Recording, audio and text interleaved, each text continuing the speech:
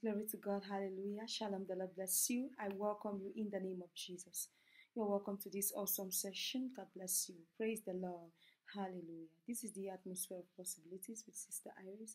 Thank you so much for joining this amazing family. God bless you. Hallelujah. Glory be to God. Someone has vowed that when it comes to you, when it comes to you, he will not longer do anything to see that you move forward. They have vow.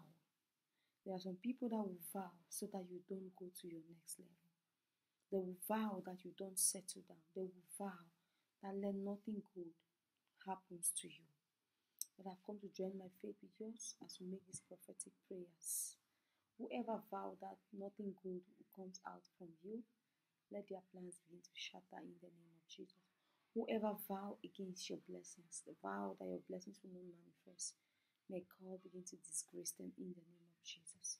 In Jesus' precious name, amen. Now may the Lord bless you, may He keep you, may He cause His countenance to shine on you, may the Lord be gracious to you, and may the Lord give you peace. The shalom of the Lord, nothing missing, nothing broken.